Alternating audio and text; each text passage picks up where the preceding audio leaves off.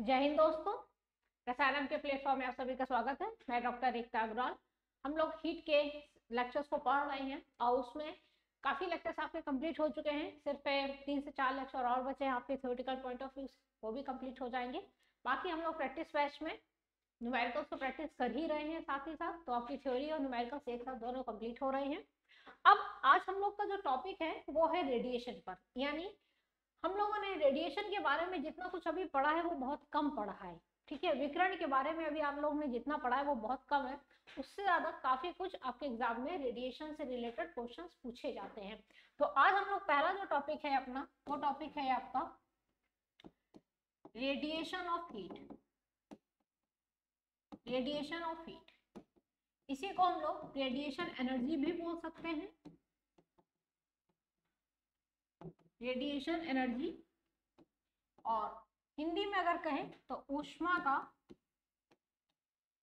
विकिरण। जो भी टॉपिक्स हैं, वो आपके सिलेबस से ही लिए गए हैं। आपके सिलेबस का बाहर का एक भी टॉपिक नहीं होगा और आपके सिलेबस का एक भी टॉपिक छूटेगा नहीं, है ना? यही है टॉपिक ऊष्मा का विकिरण। हाँ ठीक। आपके सिलेबस से ही वर्ड्स भी हम उठा रहे हैं। ऐसा नहीं कि हम वर्ड्स अपने तरफ़ से जोड़ रहे हैं कुछ भी। तो आज हम लोग इस टॉपिक के बारे में बात करेंगे। तो सबसे पहले जानेंगे कि ऊष्मा का विकरण या रेडिएशन एनर्जी होती क्या है और इसकी प्रॉपर्टीज़ क्या क्या होती है, ठीक है? अगर हम लोग बात करें तो कोई भी बॉडी होती है, चाहे वो हम हो, आप हो, कोई भी बॉडी हो, ठीक है? कोई भी बॉडी जो कि मॉलिक्यूल से बनी है एटम से मिलके बनती है, कोई भी बॉडी जो कि एटम से मिलके बनती है हम भी एटम से मिलके बने हैं, है ना? हर बॉडी जो भी एटम से मिलके बनती है। एटम होते हैं, फिर मॉलिक्यूल्स होते हैं कंपाउंड्स होते हैं, ठीक है? ऐसी बॉडी क्या करती है? अगर उस बॉडी का टेम्परेचर ज़ीरो कैलविन से ज़्यादा है, अगर उस बॉडी का टेम्परेचर ज़ीरो कैलविन से ज़्यादा है, क्योंकि ज़ीरो कैलविन क्या है अपना? एब्सोल्यूट ज़ीरो टेम्परेचर इससे नीचे कोई टेम्परेचर होता नहीं है। ये क्या है? एब्सोल्यूट ज़ीरो टेम्परेचर क्योंकि इससे नीचे कोई टेम्परेचर नहीं होता है, हम लोग इस चीज़ को पहले ही पढ़ चुके हैं। तो अगर कोई भी बॉडी है जिसका टेम्परेचर ज़ीरो कैलविन से ज़्यादा है, ठीक है? तो ऐसी बॉडी क्या करती है? रेडिएशन को एमिट करती है। ऐसी बॉडी क्या करती है? रेडिएशन को एमिट करती है, यानी विकिरण का उत्सर्जन करती है। विकिरण का उत्सर्जन करती है। ये बात क्लियर हो गई? ठीक है। ऐसी बॉडी रेडिएशन को एमिट करती है। ठीक है भाई, ये क्वेश्चन ये स्टेटमेंट हम लोग पहले भी सुन सुन चुके हैं जब हम लोगों ने सोलर रेडिएशन की बात की थी जब हम लोगों ने कहा था कि सन से हमको क्या मिलते हैं? रेडिएशन मिलते हैं, ठीक है? अब यहीं पे हम एक दूसरा शब्द और जोड़ने जा रहे हैं कि जो बॉडी रेडिएशन को एमिट करती है, उस बॉडी के पास ये क्षमता होती है कि वो रेडिएशन को एब्जॉर्ब भी कर सके। यानी कोई भी बॉडी है, जिसका टेम्परेचर ज़ीरो कैलविन से ज़्यादा है, ऐसी बॉडी रेडिएशन को एमिट तो करेगी करेगी साथ साथ वो रेडिएशन को एब्जॉर्ब भी कर सकती है। साथ साथ वो बॉडी रेडिएशन को एब्जॉर्ब भी कर सकती है, यानी विकिरण को का अवशोषण भी करेगी। साथ साथ वो विकिरण का अवशोषण भी करेगी। मतलब उत्सर्जन भी करेगी और अवशोषण भी करेगी। अब ये क्या पहेली है कि अवशोषण भी हो रहा है और उत्सर्जन भी हो रहा है। अवशोषण भी करेगी और उत्सर्जन भी करेगी, दोनों चीज़ें करेगी साथ साथ तो ये क्या पहेली है? इसके बारे में जरा समझते हैं हम लोग। जैसे हम लोग अपने आप को ले लें, ठीक है? हम लोग का टेम्परेचर क्या होता है? ज़ीरो कैलविन से ज़्यादा होता है। कितना होता है बॉडी टेम्परेचर बॉडी टेम्परेचर कितना होता है? थर्टी सेवन डिग्री सेल्सियस होता है। ह्यूमन बॉडी का जो टेम्परेचर होता है, वो कितना होता है? थर्टी सेवन डिग्री सेल्सियस ये चीज़ हम लोग पहले भी पढ़ चुके हैं, ठीक है? अगर अगर ध्यान दो कि जाने में क्या होता है हमें? गर्म, ठंडा ठंडी लगती है। इस समय कैसे का मौसम है कि हमें ठंडी लग रही है। आखिरकार हमें ठंडी क्यों लग रही है? इसके पीछे का क्या रीजन है कि हमें ठंडी लग रही है? और गर्मियों में क्या होता है? हमें गर्मी लगती है। ऐसा क्यों होता है कि हमें ठंडी लगती है? अब इसके पीछे का रीजन भी आपको यहीं से मिलेगा। देखो, हमारी बॉडी का टेम्परेचर कितना होता है? 37 डिग्री सेल्सियस होता है। कैलविन में कैलकुलेट करोगे तो इसमें 273 और इसमें ऐड कर देंगे तो पता चल जाएगा कि कैलविन में कितना अपना टेम्परेचर हो गया। अगर हमारी बॉडी का टेम्परेचर 37 डिग्री सेल्सियस होता है और प्रेजेंट टाइम में जो एटमोसफेयर है, उस एटमोसफेयर का टेम्परेचर कितना है? कितना होगा? 10 डिग्री सेल्सियस होगा 10 से 15 होगा, ठीक है? 15 20 इससे ऊपर तो नहीं जाएगा। 10 से 15 अगर हम लोग 15 ले लें, रात वाला 10 होता है 10 ही ले लेते हैं 10 डिग्री सेल्सियस है, ठीक है? अब होता क्या है कि हमारी बॉडी का टेम्परेचर तो थर्टी सेवन डिग्री सेल्सियस है, और बाहर का टेम्परेचर जो है वो टेन डिग्री सेल्सियस है। यानी हमारी बॉडी हीट को एब्जॉर्ब भी करेगी और हीट को रेडिएट भी करेगी। लेकिन एब्जॉर्प्शन की दर और एमिशन की दर एमिशन का रेट और एब्जॉर्प्शन के रेट में कहीं ना कहीं अंतर होगा। इसी की वजह से हमें क्या होता है कि जाड़े में ठंडक महसूस होती है और गर्मियों में गर्मी महसूस होती है। ठीक है? इसका मतलब है कि हम जो है हीट को हमारी बॉडी है, क्योंकि ज़ीरो केल्विन से ज़्यादा हमारा टेम्परेचर है तो हमारी बॉडी जो है वो हीट को एमिट करेगी मतलब रेडिएशन को एमिट करेगी तो हमारी बॉडी क्या कर रही है रेडिएशन को एमिट भी कर रही है और एब्जॉर्ब भी कर रही है, लेकिन रेडिएशन एमिट हो रहा है यहाँ से, ठीक है, हमारी बॉडी से रेडिएशन एमिट हो रहा है, क्योंकि हमारी बॉडी का टेम्परेचर ज़्यादा है और बाहर का टेम्परेचर कम है तो हमारी बॉडी का जो एमिशन का जो दर है, वो ज़्यादा होगा। यानी उत्सर्जन का जो दर है हमारी बॉडी का, वो ज़्यादा होगा अवशोषण के दर से। इसीलिए हम हीट ज़्यादा रिलीज़ कर रहे हैं एटमॉस्फेयर में, लेकिन उससे ले कम रहे हैं। तो हमारी बॉडी की हीट क्या हो रही है? जा रही है। और जब हमारी बॉडी की हीट जाएगी तो हमें क्या होगा? ठंडी महसूस होगी। ठीक है? हमें ठंडी क्यों महसूस होती? है ऐसा नहीं होता है कि हम फ्रीजर में जाके थोड़ी देर बैठ गए हैं। भाई जाड़ों में क्या होता है? बाहर निकल जाओ। अंदर आ, अंदर क्या होता है? तुम्हारे रूम का टेम्परेचर जो होता है वो 22-25 डिग्री सेल्सियस होता है। तुम्हें उतना ठंडक महसूस नहीं होती है। तुम रोड में जाते हो तुम्हें ठंडक महसूस होने लगती है। क्यों? उसके पीछे और क्या रीजन है? क्योंकि तुम्हारी बॉडी का टेम्परेचर तो अंदर भी 37 था। बाहर जाओगे तो भी 37 होगा। अंतर है कि बाहर का एटमोसफियर जो था उसका टेम्परेचर 10 डिग्री सेल्सियस था। रूम का टेम्परेचर जो है, वो 22 डिग्री सेल्सियस है है ना?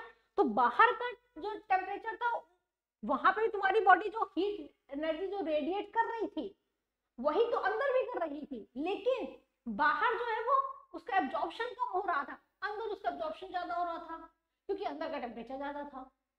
इसीलिए हमें क्या होता है, ठंडक में ठंडी महसूस होती है। ठीक है? क्योंकि यहाँ पे क्या है, वो एब्जॉर्ब भी कर रही ऐसा नहीं कि हमारी बॉडी हीट को एब्जॉर्ब नहीं करेगी। एटमॉस्फेयर से वो हीट को एब्जॉर्ब ही करेगी। लेकिन जो रेट ऑफ़ एमिशन है, जो रेट ऑफ़ एमिशन है, वो बहुत ज़्यादा है रेट ऑफ़ एब्जॉर्प्शन से। यानी उत्सर्जन की जो दर है, उत्सर्जन की दर बहुत ज़्यादा होगी अवशोषण की दर से। इसीलिए हमें क्या होता है, ठंडक में ठंडी महसूस होती है, ठीक है? और और क्या होता है, गर्मियों में क्या होता है? गर्मियों में बाहर का जो टेम्परेचर होता है बॉडी का टेम्परेचर तो वही थर्टी सेवन डिग्री सेल्सियस रहेगा बॉडी का टेम्परेचर तो नहीं बदलेगा। बाहर का जो टेम्परेचर होता है, जो सराउंडिंग होती है उसका टेम्परेचर पैतालीस डिग्री सेल्सियस हो गया मान लो। ठीक है? अब हमारी बॉडी क्या करेगी? हीट को रेडिएट तो कर रही है। लेकिन जितना वो रेडिएट कर रही है, उससे कई गुना ज़्यादा वो क्या कर रही है? एब्जॉर्ब कर रही है। तो ये चीज़ तो हमें विंटर में देखने को मिलती है और ये चीज़ हमें समर में देखने को मिलती है। तो समर में क्या होता है कि इसका जो एमिशन का जो दर होता है, वो कम होता है। इसको कम कर देते हैं। एमिशन का दर कम होता है। है ना? एमिशन का दर कम होता है और एब्जॉर्प्शन का दर बहुत ज़्यादा होता है। एटमॉस्फेयर से, वातावरण से बहुत ज़्यादा एब्जॉर्ब करती है। तो समर गर्मियों में क्या होता है? रेट ऑफ़ एमिशन हमारी बॉडी जो ऊर्जा को बाहर निकालती है यानी उत्सर्जित करती है। बहुत कम होता है, जितना वो एब्जॉर्ब करती है एब्जॉर्ब बहुत ज़्यादा कर लेती है। कहाँ से? एटमॉस्फेयर से। तो इसीलिए क्या होता है कि गर्मियों में अपने को गर्म महसूस होता है। ठीक है? आई समझ में।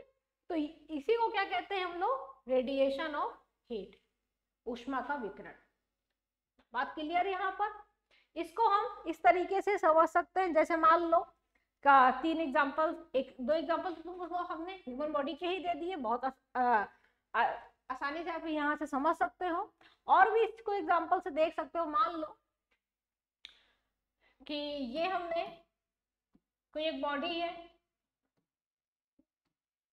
ये दूसरी बॉडी है, ये तीसरी बॉडी है, ठीक है? ये बॉडी मान लो 10 डिग्री सेल्सियस पर है सेम बॉडी है। दस डिग्री सेल्सियस पर है, ठीक है? यहाँ पे एटमॉस्फेयर जो है, वो है पाँच डिग्री सेल्सियस। यहाँ पे जो एटमॉस्फेयर है, वो है पंद्रह डिग्री सेल्सियस। और यहाँ पे जो एटमॉस्फेयर है, वो है दस डिग्री सेल्सियस। समझना जरा इस चीज़ को, ठीक? अब दस डिग्री सेंटीग्रेड इसका बॉडी का टेम्परेचर है तो ये हीट को रेडिएट तो करेगी करेगी। ये हीट रेडिएट कर रही है। ठीक है? ये भी बॉडी हीट रेडिएट कर रही है। क्योंकि बॉडी है, उसका टेम्परेचर ज़ीरो कैलविन से ज़्यादा है तो वो हीट को रेडिएट करेगी करेगी। ये भी बॉडी हीट को रेडिएट कर रही है। किसी भी बॉडी का टेम्परेचर अगर ज़ीरो कैलविन से ज़्यादा है तो वो हीट को रेडिएट करेगी। क्लियर बात इस पे आती है कि वो ऑब्जॉर्व कितना कर रही है। अगर ज़्यादा ऑब्जॉर्व करेगी तो उसको गर्म महसूस होगा, कम ऑब्जॉर्व करेगी तो उसको ठंडा महसूस होगा, ठीक है? बाहर का टेम्परेचर कितना है? पाँच डिग्री सेल्सियस है। तो बाहर का टेम्परेचर कम है, अंदर का टेम्परेचर बॉडी का टेम्परेचर ज़्यादा है तो वो जो उसका एब्जॉर्प्शन की जो दर होगी, क्योंकि टेम्परेचर कम है तो कम एब्जॉर्व कर पाएगी, कम एनर्जी होगी, कम उष्मा होगी तो कम एब्जॉर्व कर पाएगी तो उसका जो एब्जॉर्प्शन होगा वो कम होगा यहाँ पर, कम एब्जॉर्व कर रही है। ठीक है? अगर बाहर का एटमॉस्फेयर 15 डिग्री सेल्सियस है तो उसका एब्जॉर्प्शन भी ज़्यादा होगा तो इसका एमिशन कम कर देते हैं। इसका एब्जॉर्प्शन क्या होगा? ज़्यादा होगा। ज़्यादा एब्जॉर्ब कर पाएगी, इसमें पाँच बना देते हैं। एक, दो, तीन, चार, पाँच, इसको थोड़ा कम कर देते हैं। तो ये चीज़ तुम्हें यहाँ से क्लियर दिखेगी। ठीक? यहाँ पे भी इसको ये ज़्यादा है। और इसे कम कर देते हैं थोड़ा सा। क्लियर तो यहाँ पे यहाँ पे क्या दिख रहा है अपने को? यहाँ दिख रहा है कि रेट ऑफ़ एमिशन ज़्यादा हो रहा है और रेट ऑफ़ एब्जॉर्प्शन कम है। एमिशन की दर ज़्यादा है, उत्सर्जन की दर कम है, अवशोषण की दर से, है ना? उत्सर्जन की दर ज़्यादा है, अवशोषण की दर से, ठीक है? यहाँ पे क्या दिख रहा है? यहाँ पे दिख रहा है कि जो रेट ऑफ़ एमिशन है, यहाँ पे चलो हिंदी में लिख देते हैं, जो उत्सर्जन की दर है, उत्सर्जन की दर क्या है? यहाँ पर कम है, अवशोषण की दर से, अवशोषण की दर से। यहाँ पे उत्सर्जन की दर कम है, यहाँ पे उत्सर्जन की दर ज़्यादा थी। और अगर बात करें इस तीसरे वाले फिगर पे तो यहाँ पे बॉडी का टेम्परेचर एटमॉस्फेयर का टेम्परेचर दोनों सेम सेम है। तो इसका मतलब है क्या बॉडी रेडिएशन को एमिट नहीं करेगी। नहीं बॉडी रेडिएशन को एमिट करेगी। बस अंतर इतना होगा कि जितना वो एमिट करेगी, उतना ही एब्जॉर्ब कर लेगी। इसीलिए बॉडी के टेम्परेचर में कुछ भी फ़र्क चेंज नहीं आता है।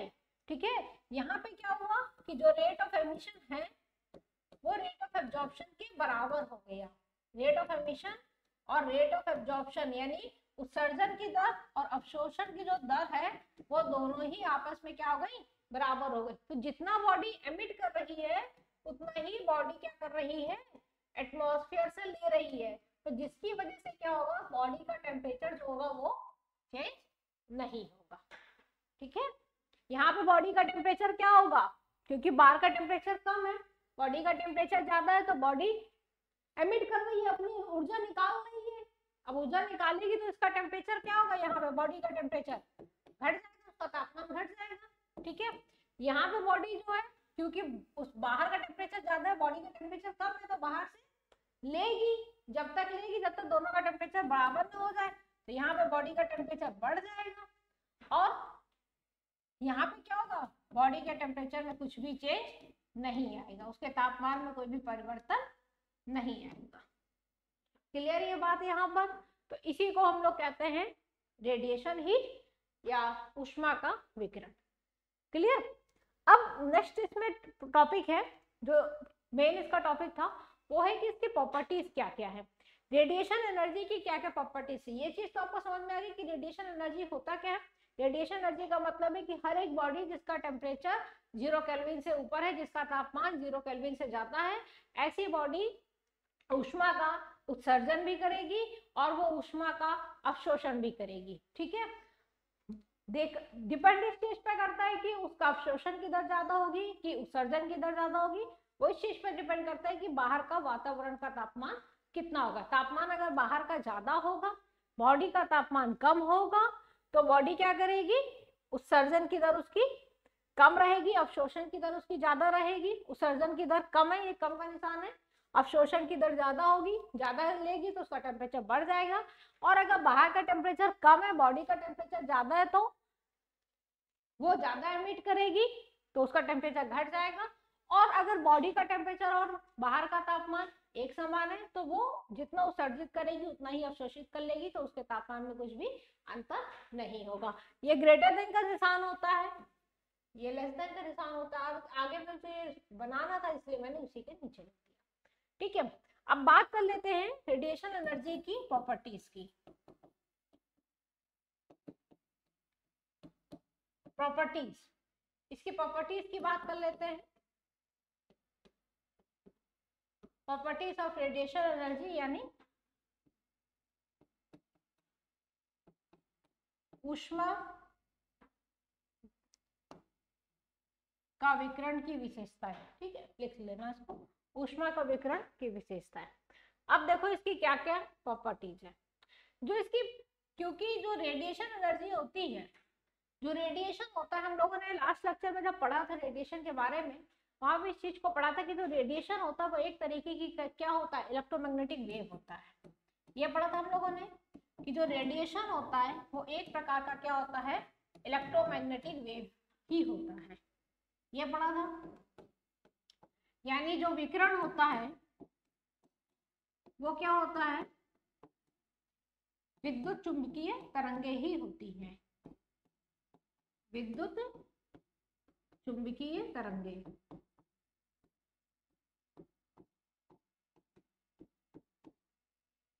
ठीक है?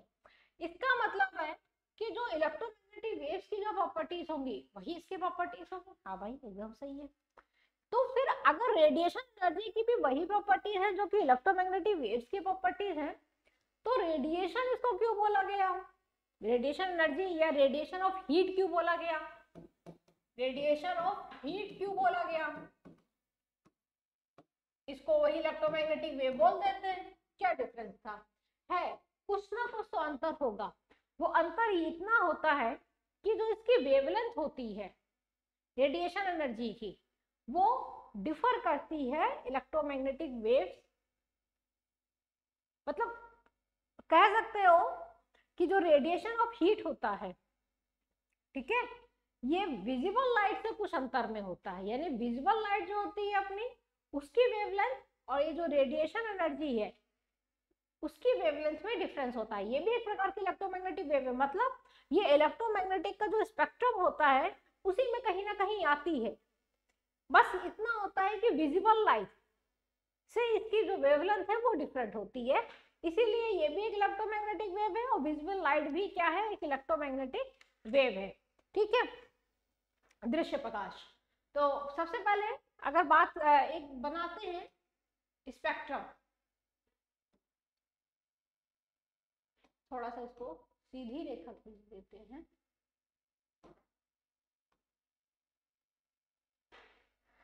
इलेक्ट्रोमैग्नेटिक स्पेक्ट्रम में, ये इलेक्ट्रोमैग्नेटिक स्पेक्ट्रम है, पूरा हम इसको देख सकते हैं, अभी उतनी ज़रूरत नहीं है। ये आपको मेनली ऑप्टिक्स के टॉपिक में इस चीज़ को पढ़ना होता है, ठीक है? इलेक्ट्रोमैग्नेटिक स्पेक्ट्रम में एक रीजन होता है जिसको हम लोग क्या बोलते हैं? विजिबल लाइट क्या बोलते हैं उसको हम लोग?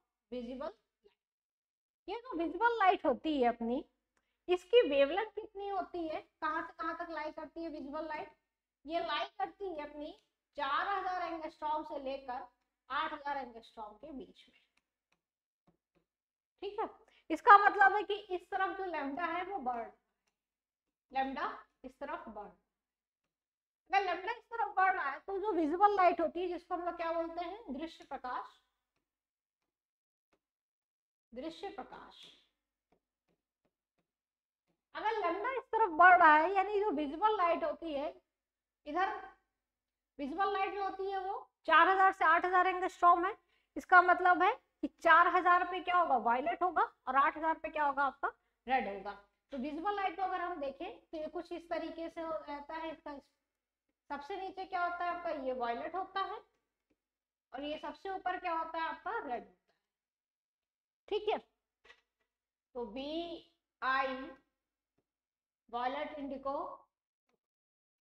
साफ़ साफ़ लिख दे। B I B G Y O R इसकी जो वेवलेंथ होती है, वो लगभग चार हज़ार एंगस्ट्रॉम उसको हम लोग ले लेते हैं, ठीक है? और एक्चुअली में तो लगभग इसकी अड़तीस सौ एंगस्ट्रॉम होती है। इसकी वेवलेंथ जो होती है, वो उसको हम लोग आठ हज़ार एंगस्ट्रॉम ले लेते हैं। जबकि एक्चुअली में इसकी रहती है अठहत्तर सौ एंगस्ट्रॉम। तो इस विबग्योर में इस तरीके से जो वेवलेंथ होती है तरंग जो होती है, वो बढ़ती है। ठीक है? विबग्योर में वायलेट के नीचे जो होता है, वो होता है आपका अल्ट्रा वायलेट पराबैंगनी तरंगे। ठीक? पराबैंगनी तरंग के अल्ट्रा वायलेट यानी जो अल्ट्रा वायलेट होता है, उसकी वेवलेंथ जो होती है वो वायलेट से कम होती है। वायलेट से कम होती है तो अगर विबग्योर में यहाँ देखें तो ये आपका वायलेट होगा, ये आपका रेड होगा बैगनी होगा, इधर लाल होगा, और इस तरफ़ जो होगा, वो होगा आपका क्या? अल्ट्रावायलेट यानी पराबैगनी तरंगे।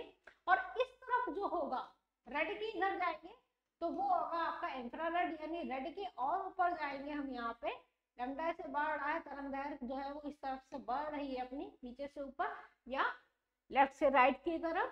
तो यहाँ पे क्या होगा? यहाँ पे इंफ्रारेड होगा। अब बना आप बात को जरा ध्यान से समझना। ये वाला जो पोर्शन होता है, ये होता है आपका विजिबल लाइट लाइट भी क्या है? एक प्रकार की इलेक्ट्रोमैग्नेटिक वेव है। अल्ट्रावायलेट की बात करोगे तो वो भी एक इलेक्ट्रोमैग्नेटिक वेव है। विजिबल लाइट भी एक इलेक्ट्रोमैग्नेटिक वेव है, इंफ्रारेड भी हो गया, ये भी एक इलेक्ट्रोमैग्नेटिक वेव है। इधर वेवलेंथ क्या हो रही है? बढ़ रही है, और इधर की ओर जाएँगे तो वेवलेंथ घट रही है। एक्सरे गामा रे ये सब क्या है? आपकी इलेक्ट्रोमैग्नेटिक वेव यानी विद्युत चुंबकीय तरंगे हैं। तो इसमें अंतर क्या है? तो ये रेडिएशन ऑफ़ हीट जो उसको अभी हम लोग को पढ़ना है तो इसमें कहाँ पे लाई करता है? ये अपने को देखना है।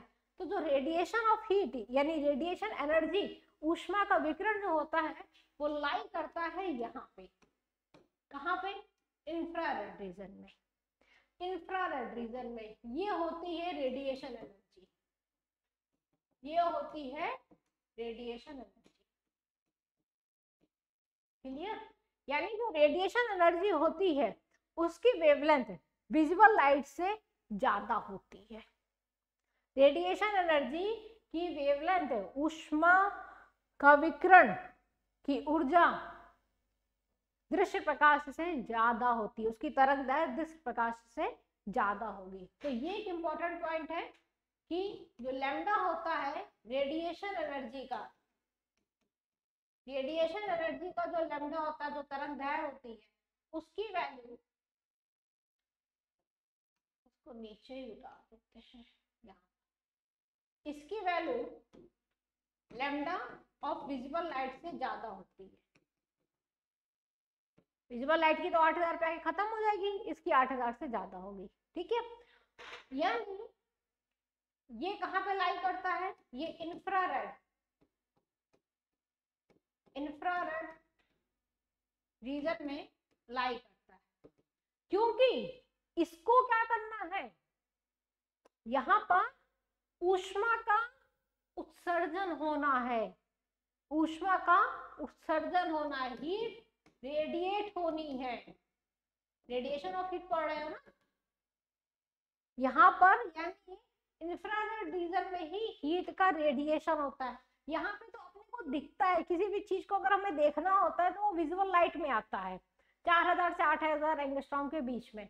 लेकिन वो रेडिएशन जिससे हीट प्रोड्यूस हो सके यानी ऐसा रेडिएशन जो हॉट बॉडी से कोल्ड बॉडी की तरफ़ अगर ट्रांसफ़र हो रहा है तो ऐसा रेडिएशन जो होता है, वो इंफ्रारेड रीजन में लाई करता है, जिसका जो वेवलेंथ होता है, वो आठ हज़ार एंगस्ट्रॉम से ज़्यादा होता है। क्लियर ये बात हो गई यहाँ पर?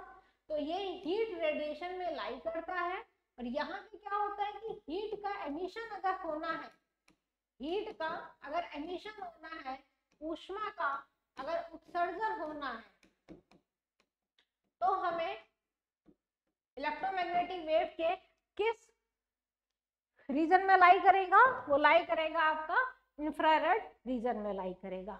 ये बात यहाँ पे क्लियर हो गई। बहुत इंपॉर्टेंट पॉइंट है ये कि इंफ्रारेड रीजन में रेडिएशन ऑफ़ हीट होता है, ठीक है? अगर ऊष्मा का उत्सर्जन होना है तो वो कहाँ पर होगा आपका? इंफ्रारेड रेडिएशन में होगा। और अगर हमें दृश्य प्रकाश की बात करनी है तो वो कहाँ पर होता है? वो विजिबल लाइट के रीजन में होता है। पूरे तरंग दैर्घ्य का जो स्पेक्ट्रम होता है इलेक्ट्रोमैग्नेटिक वेव का जो स्पेक्ट्रम होता है, उसमें इस चीज़ को हम देख सकते हैं। क्लियर हो गई बात यहाँ पर? अब आगे चलते हैं। इसकी कुछ और प्रॉपर्टीज़ के बारे में बात करते हैं। हम्म।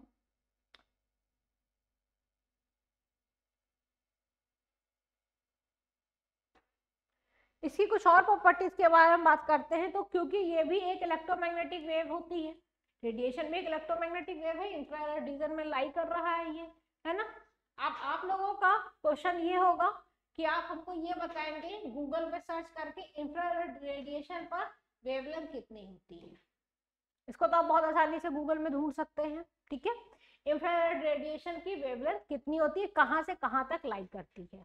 जैसे विजिबल लाइट की रेडिएशन 4000 से 8000 एंगस्ट्रॉम के बीच में लाई करती है। उसी तरीके से आप हमें ढूंढ के बताएँगे कि जो इंफ्रारेड रेडिएशन होता है, उसकी वेवलेंथ कहाँ से कहाँ के बीच में लाई करती है। आप हमें ज़रूर बताइएगा, वरना हम नेक्स्ट क्लास में फिर इसका जवाब आपको दे देंगे कि इंफ्रारेड रेडिएशन की वेवलेंथ कहाँ से कहाँ के बीच में लाई करती है। अब दूसरी प्रॉपर्टी क्या हो गई? क्योंकि ये भी एक इलेक्ट्रोमैग्नेटिक वेव है तो इसका मतलब है कि जैसे विजिबल लाइट एक स्ट्रेट लाइन में एक सीधी रेखा में चलती है, विजिबल लाइट में होती है वो एक सीधी रेखा में चलती है चलती है कि नहीं चलती है? जो विजिबल लाइट होती है, वो सीधी रेखा में चलती है है ना? स्ट्रेट लाइन में चलती है। उसी प्रकार से ये जो रेडिएशन होता है रेडिएशन ऑफ़ हीट जो होता है, ऊष्मा का जो विकरण होता है, वो भी क्या होता है? सीधी रेखा में चलता है। सीधी रेखा में चलता है। ठीक? तीसरा इसका अगर हम देखें, जो इलेक्ट्रोमैग्नेटिक वेव्स होती हैं, जितनी भी तरंग दैर्घ्य हो, चाहे वो माइक्रोवेव हो, चाहे इंफ्रारेड हो, चाहे अल्ट्रावायलेट हो पराबैंगनी हो, चाहे एक्स रे हो, चाहे गामा रे हो, चाहे रेडियो वेव्स हो, इन सबकी जो वेलोसिटी होती है, वो किसके बराबर होती है? जो वेलोसिटी ऑफ़ लाइट होती है तो इन सब की स्पीड जो होती है, वो कितनी होती है? थ्री इंटू टेन की power eight metre per second तो उस हिसाब से देखा जाए तो जो रेडिएशन ऑफ़ हीट है, उसकी भी वेलोसिटी कितनी हो जाएगी अपनी? थ्री इंटू टेन की power eight metre per second ठीक है?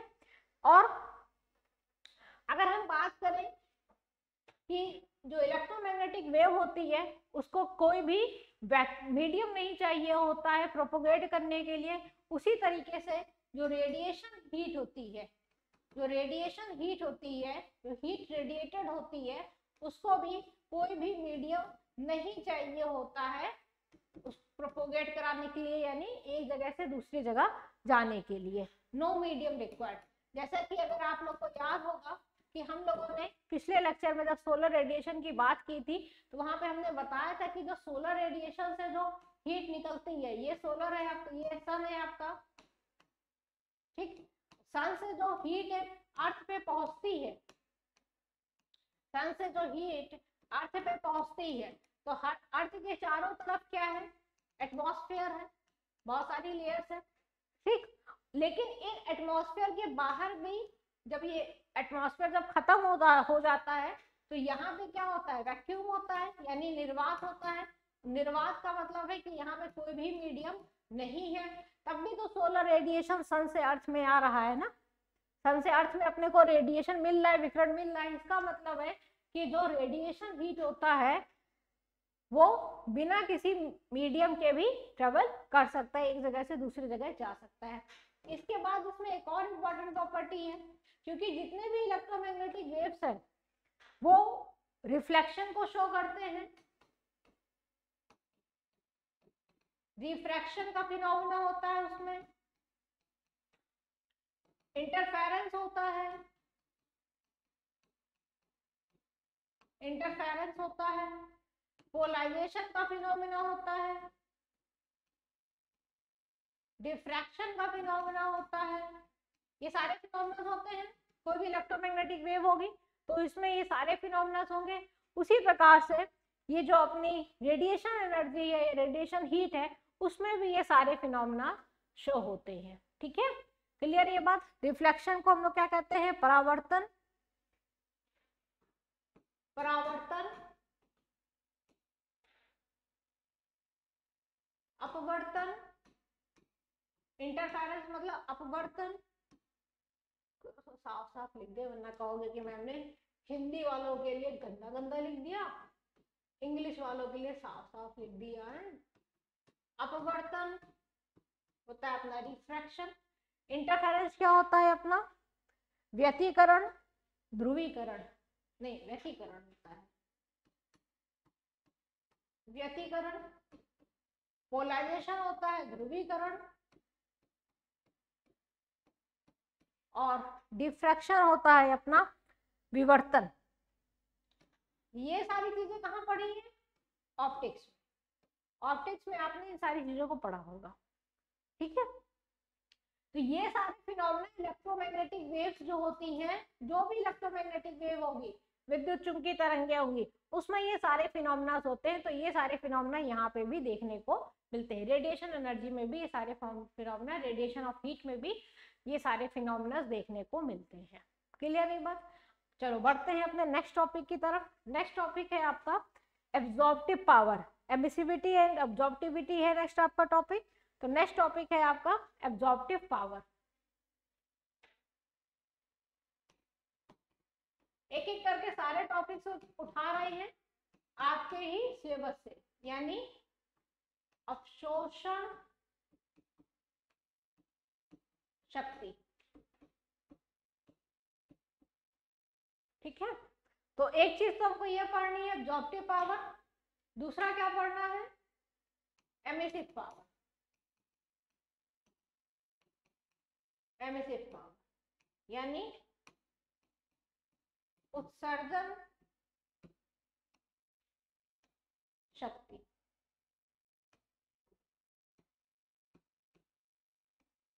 उत्सर्जन शक्ति.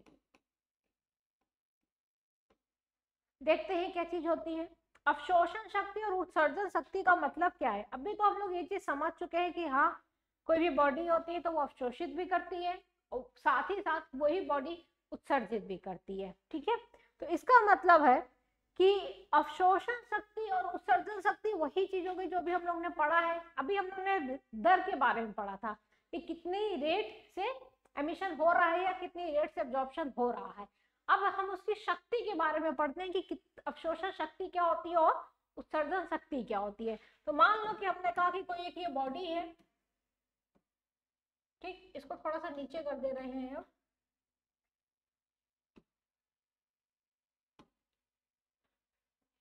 बॉडी को थोड़ा सा नीचे उतार देते हैं।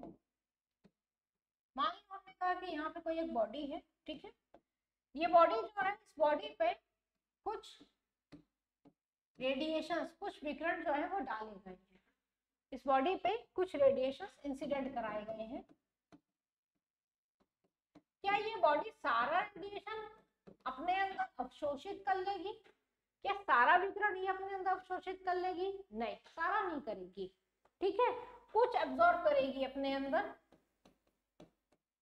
और कुछ क्या करेगी ये? अगर इसमें डाले गए हैं तो कुछ तो इसने एब्जॉर्ब कर लिया खुद के अंदर।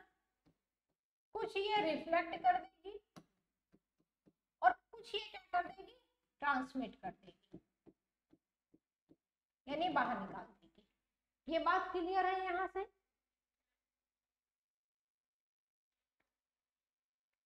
आपत्तित विकरण। इसको आपत्तित विकरण इंसिडेंट रेडिएशन को कहते हैं।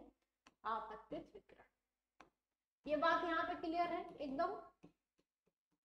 कि वो सारा तो नहीं अपने अंदर एब्जॉर्ब करेगी, कुछ रिफ्लेक्ट हो जाएगा, कुछ ट्रांसमिट कर देगी, यानी बॉडी से बाहर निकल जाएगा। कुछ तो ऐसा होगा कि पड़ा और ये वापस चला गया। ऐसे पड़ा और ऐसे वापस चला गया। कुछ का क्या होगा?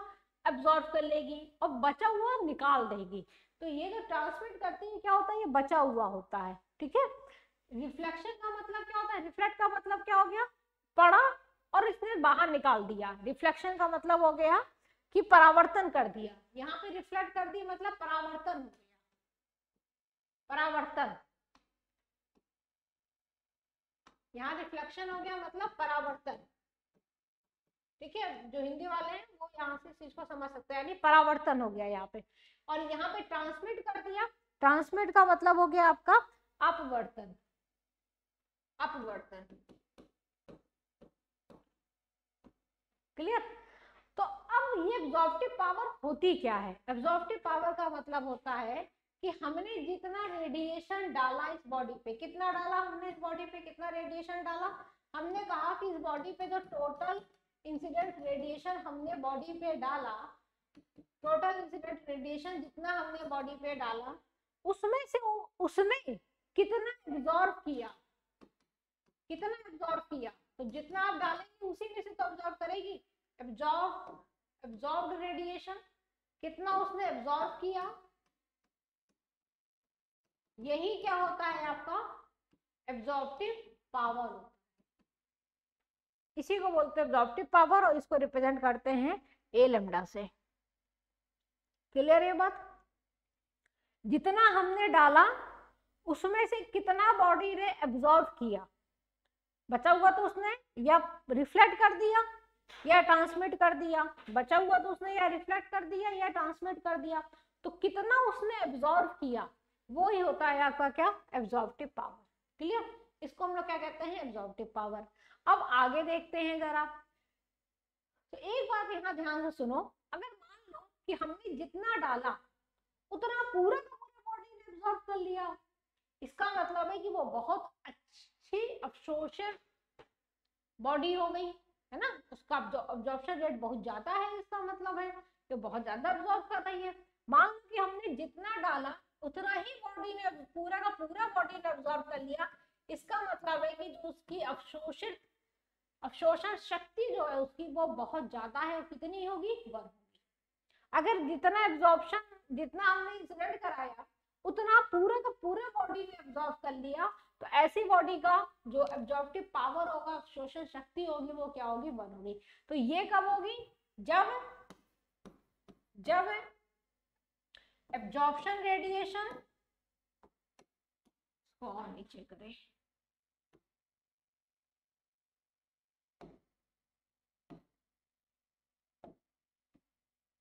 When absorbed radiation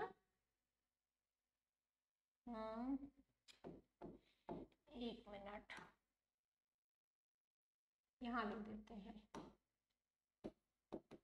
जब एब्जॉर्ब्ड रेडिएशन किसके बराबर हो जाएगा? इंसिडेंट रेडिएशन के बराबर हो जाएगा। उस केस में हम कह सकते हैं उस बॉडी का जो ए लैम्डा होगा, वो कितना होगा? वन होगा। क्लियर ये बात? उस केस में हम कह सकते हैं कि जो बॉडी का ए लैम्डा होगा, वो कितना होगा? वन होगा। यहाँ पे तो बॉडी का ए लैम्डा जो होगा, वो वन से कुछ कम होगा। लेकिन जब जितना हमने उसको दिया, आपत्तित विकरण, उतना ही उसने क्या किया? पूरा एब्जॉर्व कर लिया, शोषित कर लिया अपने अंदर। पूरा का पूरा कुछ बाहर नहीं हुआ, कुछ रिफ्लेक्ट नहीं हुआ, कुछ ट्रांसमिट नहीं हुआ। तो ऐसे केस में जो ए लेमडा होगा, वो कितना होगा? वन हो जाएगा। अच्छा यहाँ पे मैंने ए लेमडा क्यों लिखा हुआ है? इसका मतलब अभी तुम्हें थोड़ी देर में समझ में आ जाएगा। ठीक है? एमिसिव पावर का मतलब क्या है? वही फिगर है, जो फिगर आपके सामने यहाँ दिख रहा है। मान लो कि हमने इस बॉडी पे जो भी इंसिडेंट कराया, ठीक है? जितना उसने एब्जॉर्व किया किया। जितना उसने बाहर निकाल दिया, चाहे वो रिफ्लेक्शन से किया हो, चाहे ट्रांसमिशन हुआ हो, चाहे उसमें परावर्तन हुआ हो चाहे उसमें अपवर्तन हुआ हो दोनों तरीके से जो भी उसने आ, क्या किया उत्सर्जित कर दिया एमिसिव कर दिया बाहर निकाल दिया वही क्या हो जाएगा उसका एमिसिव पावर हो जाएगा। तो अगर हम लोग एमिसिव पावर की बात करें तो एमिसिव पावर कितना हो जाएगा?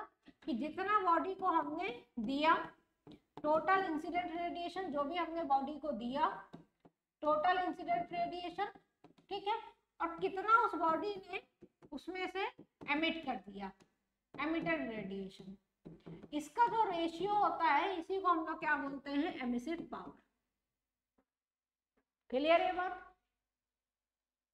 इसी को बोलते हैं एमिसिव पावर उत्सर्जन शक्ति.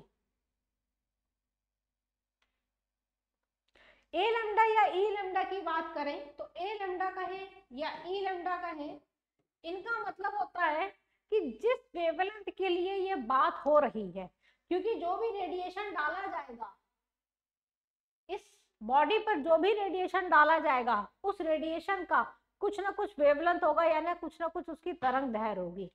उस विकरण की कुछ ना कुछ क्या होगी? लेमडा होगी, कुछ ना कुछ उसकी वेवलेंथ होगी, ठीक है? तो जिस वेवलेंथ का रेडिएशन हम डाल रहे हैं, उसी वेवलेंथ को तो रेडिएशन एब्जॉर्ब करेंगे, ठीक है?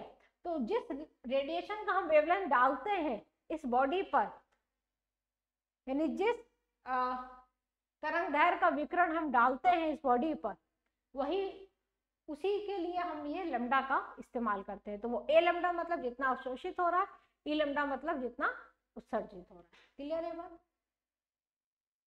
तो एमिसिव पावर हो गया एब्जॉर्प्टिव पावर नेक्स्ट जो टॉपिक है, वो है आपका ब्लैक क्या होता है ब्लैक बॉडी अगर हम ब्लैक बॉडी की बात करें ब्लैक बॉडी का मतलब है कृष्ण पिंड कृष्ण पिंड कृष्ण पिंड कृष्ण का भी लिखा हुआ है।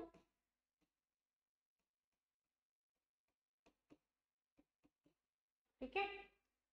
Black body. क्या चीज़ होती है ब्लैक बॉडी? ब्लैक बॉडी का मतलब है ऐसी बॉडी जिसको हमने जितना भी रेडिएशन दे, वो सारा का सारा रेडिएशन क्या करे? खुद के अंदर एब्जॉर्ब मतलब हमने जितना रेडिएशन उस बॉडी को दिया, उसने सारा का सारा रेडिएशन क्या किया? खुद के अंदर एब्जॉर्ब कर लिया, अवशोषित कर लिया। ऐसी बॉडी क्या होगी?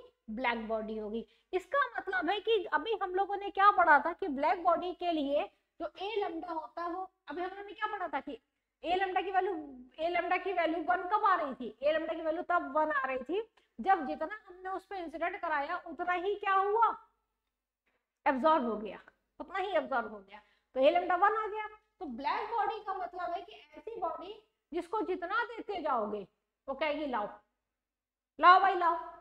कुछ हम वापस नहीं करेंगे, सब खुद में एब्जॉर्ब कर लेंगे, सब खुद में अवशोषित कर लेंगे।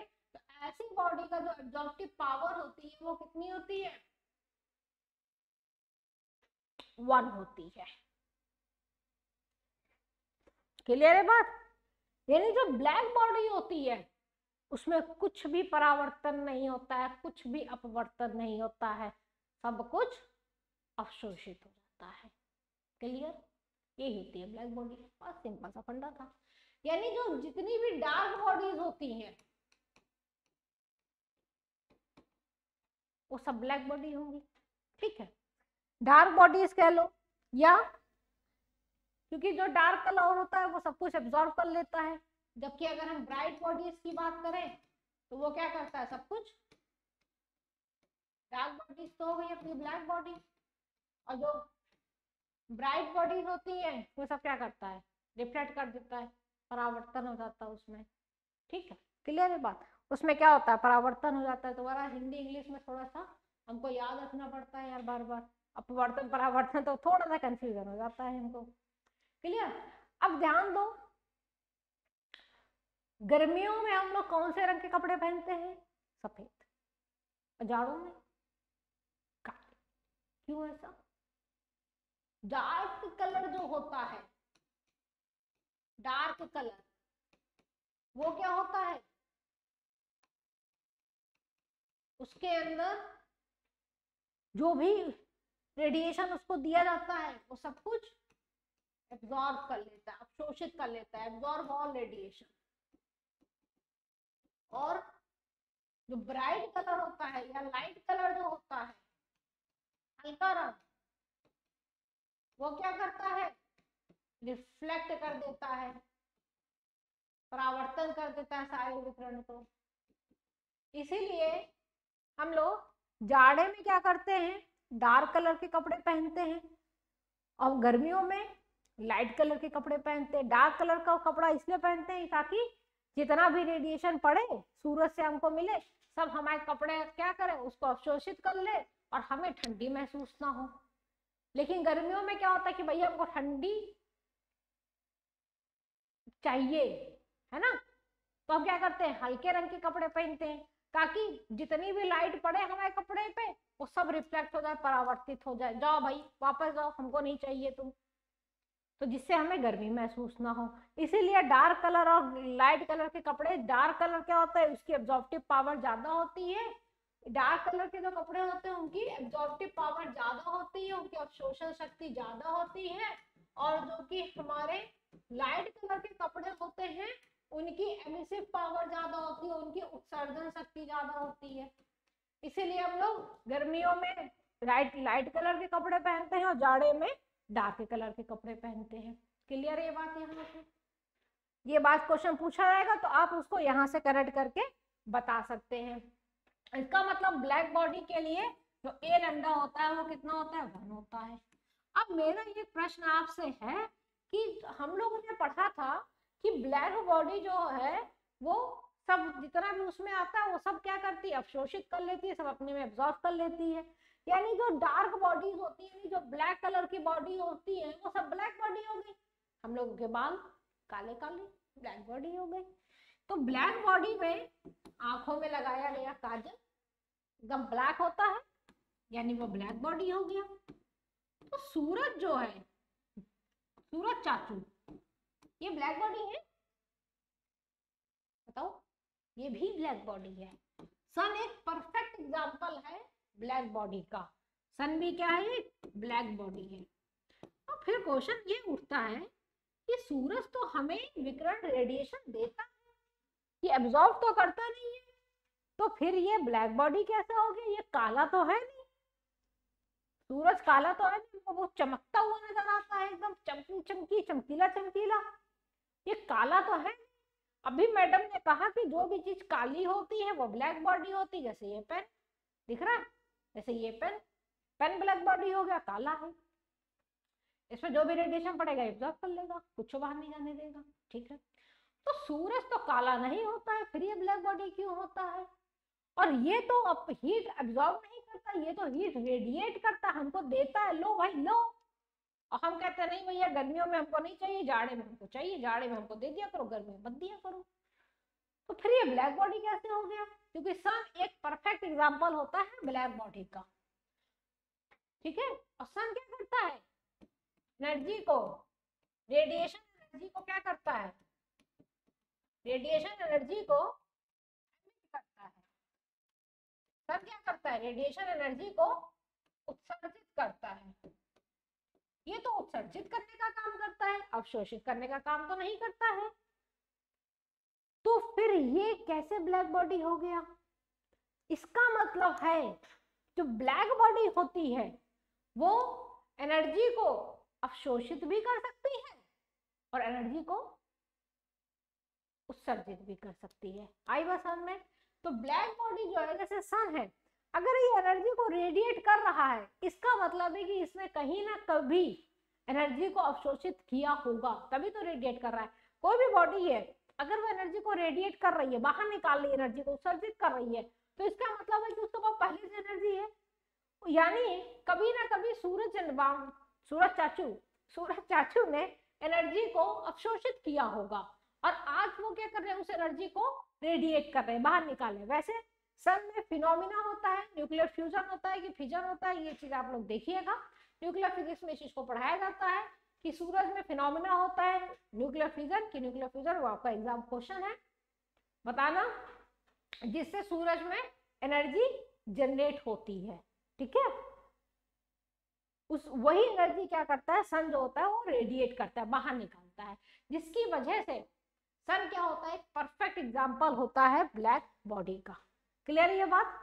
यानी सन जो होता है, वो हर प्रकार की जो लाइट होती है, यानी हर वेवलेंथ हर तरंग दैर्घ्य का जो विकिरण होता है रेडिएशन होता है, उसे क्या करता है? एमिट करता है। सन से हमको विजिबल लाइट भी देखो मिलता है। मिलता है कि नहीं मिलता है? सूरज की तो रोशनी होती है है ना? सन से हमें विजिबल लाइट भी मिलता है। व्हाइट कलर होती है व्हाइट कलर पूरा सातों कलर में टूट जाती है तो सन से हमें विजिबल लाइट भी मिलती है, और सन से ही हमें रेडिएशन भी मिलता है। यानी सन से हमें विजिबल लाइट भी मिलती है। ये हमको विजुअल लाइट भी देता है, दृश्य प्रकाश भी देता है, और इसी से हमें इंफ्रारेड रेडिएशन भी मिलता है, जो कि ऊष्मा को पैदा करता है और यहाँ से दृश्य होता है। क्लियर है बात? सूरज, चाचू, दोनों चीज़ें हमको देते हैं। इसका मतलब है कि एक ये क्या है? सन क्या है? एक एमीटर है, उत्सर्जक है। तो ये कहीं ना कहीं इसने एब्जॉर्ब भी किया होगा, तभी ये आज क्या कर रहा है? उत्सर्जित कर रहा है, बाहर निकाल रहा है। वैसे भी कहा जाता है कि जो भी चीज़ इंसान ग्रहण करेगा, उसी को बाहर निकालेगा। अगर आप अच्छा ग्रहण करेंगे तो आप अच्छा बाहर निकालेंगे। और अगर आप गंदा ग्रहण करेंगे, खराब ग्रहण चीज़ ग्रहण करेंगे तो खराब चीज़ ही आप बाहर निकालेंगे। क्लियर है बात? यानी जो ब्लैक बॉडी होती है, कृष्ण पंडिका होती है, वो हर प्रकार के रेडिएशन को एब्जॉर्व भी कर सकती है और हर प्रकार के रेडिएशन को एमिट भी कर सकती है। ये बात यहाँ पे मैंने ब्लैक बॉडी से रिलेटेड जितने भी तथ्य थे, वो सारे आपके सामने खोलकर रख दिए हैं। क्लियर तो ब्लैक बॉडी सन भी एक ब्लैक बॉडी है, काजल जो है वो भी एक ब्लैक बॉडी है। आइडियली परफेक्ट ब्लैक बॉडी हम सन को ही कहते हैं।